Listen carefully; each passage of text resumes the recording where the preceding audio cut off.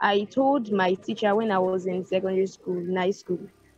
So I, I had to tell her that okay, this is what is happening, and because she noticed that um I'm not always myself sometimes, and I don't. I think that that's part of the thing that makes me introverted, I guess, because I have learned not to share my feelings with anyone because of this kind of thing. So I had to tell her, open up to her later on that okay, this is what is going on, and the words from her made me feel that okay, after all, this is not the end of life. It comforted me and I started healing up, healing up, healing up, and all that. Even at that, I couldn't still share my um experience with some people because I don't want them feeling like, okay, this is what you have gone through. And you know, most people might actually feel sorry for you, but most people might feel like, okay, this this is actually your fault, or how would you?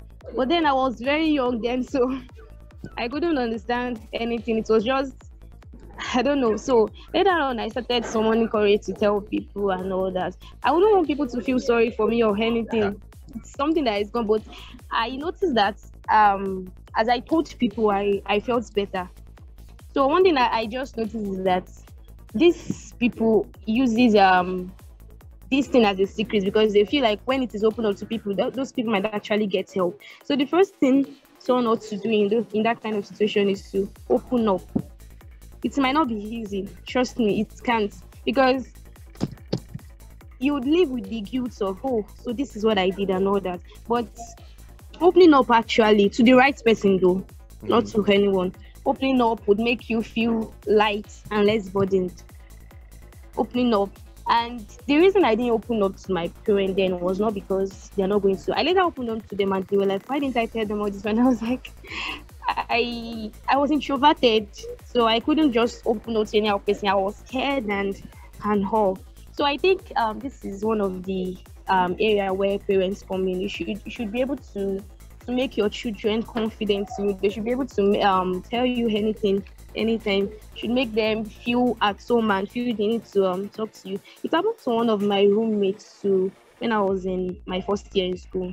She told me that um, she was she was raped by her boyfriend then so I was like, how how did you live with this and all that? So she was like, she told her mom that her mom is her best friend. I was like, wow, I, I actually wish I have that kind of person to um I have that kind of person to um talk to. Not like my mom is not caring or, or, or something like that, but I just I maybe it's because of this um effect of what happened. I don't feel the need to just open up to someone. So she said she was able to open up to her mom and she got solution. They got the guy arrested and he had to pay for damages. So um the first thing someone should learn to do is to open up. It won't be easy, but get a person that is very reliable, a trusted person that you could open up to. If not, the person will have to live in the guilt for many years. I lived in the guilt for many years before I could be able to open up to someone. And it just takes courage. It takes courage.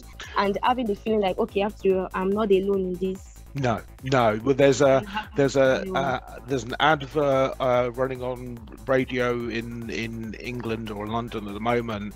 Uh, talks about abuse that happens to children, and it says specifically that your child won't open up to you.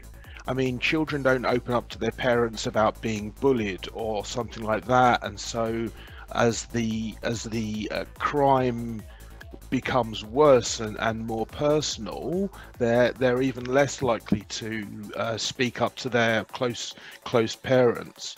Um, uh, there was a, I posted a, a, story. There's a singer in the in the UK who was raped at 18.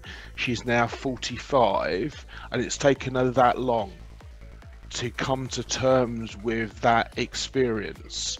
And so, for you to be as uh, as joyous as you are, um, is uh, uh, I, uh, I, I'm I'm I'm speechless, which is very rare for me.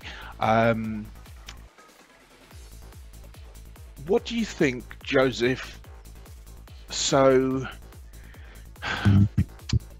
so basically, there's something I'm noticing quite a lot, and what I'm noticing quite a lot is that some of the brightest people, some of the kindest people, some of the most helpful people have suffered terrible things that no person should have had to suffer in their life